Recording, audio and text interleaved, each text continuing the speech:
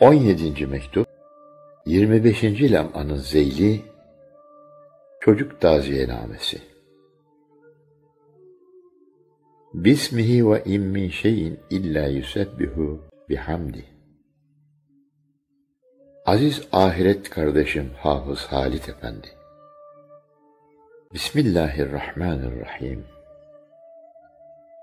Ve beşşir sabirin اَلَّذ۪ينَ اِذَا اَصَابَتْهُمْ مُصِيبَةٌ قَالُوا اِنَّا لِلّٰهِ وَاِنَّا اِلَيْهِ رَاجِعُونَ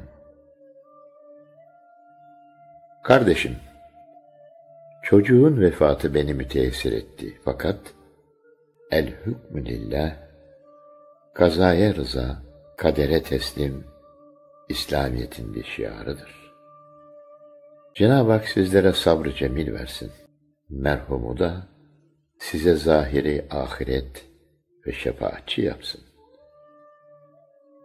Size ve sizin gibi müttaki müminlere büyük bir müjde ve hakiki bir teselli gösterecek beş noktayı beyan ederiz.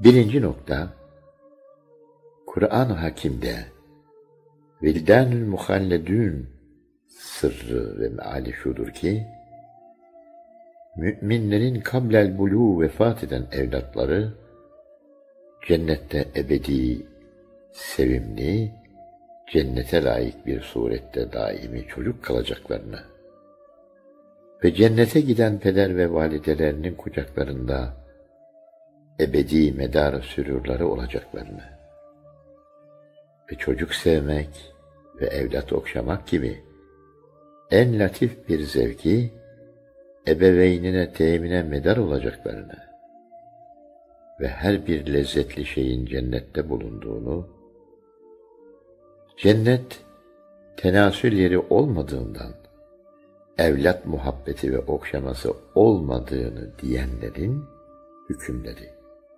hakikat olmadığını hem dünyada on senelik kısa bir zamanda teellümatla karışık evlat sevmesine ve okşamasına bedel, safi, elemsiz, milyonlar sene ebedi evlat sevmesini ve okşamasını kazanmak, ehli imanın en büyük bir medarı saadeti olduğunu şu ayeti kerime, Vildanül muhalledün cümlesiyle işaret ediyor ve müjde veriyor.